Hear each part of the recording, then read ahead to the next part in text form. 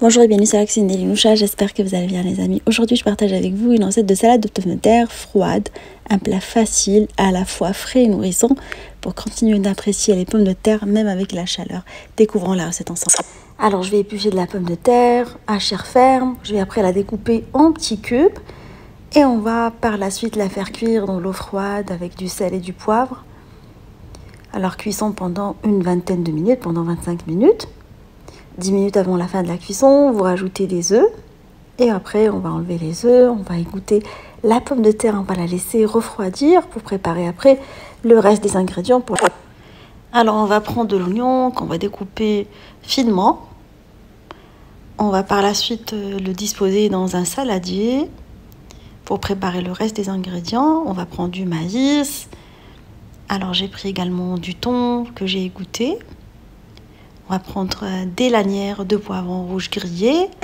Alors je vais découper euh, des olives en rondelles, sinon prenez-les déjà découpées, découpées en bocal. Et on va passer après à l'assemblage de la salade. Alors je vais rajouter la pomme de terre égouttée qu'on a laissé refroidir et je vais la mélanger avec le reste. On va préparer une sauce par la suite. Alors je vais mélanger la mayonnaise et la moutarde, on va les mélanger ensemble. Je trouve que la, moutarde se marie très très bien avec euh, les salades de pommes de terre.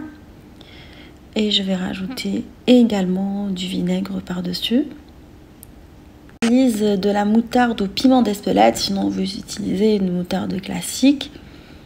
Alors je vais rajouter de la persillade provençale, du sel, du poivre. Je mets pas de piment d'Espelette parce que la moutarde contient déjà du piment. Et on va mélanger notre sauce, elle est maintenant prête.